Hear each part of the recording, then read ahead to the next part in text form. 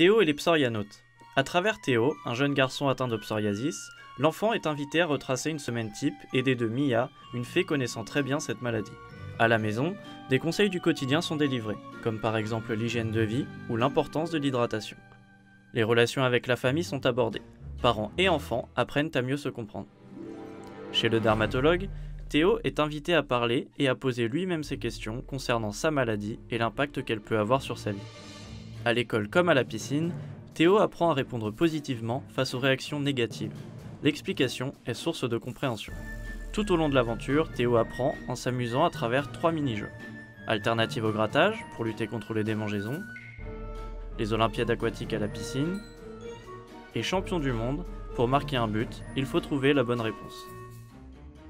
De manière ludique et pédagogique, on apprend à bien vivre avec un psoriasis. Ce jeu est gratuit et disponible sur theolespsorianotes.fr.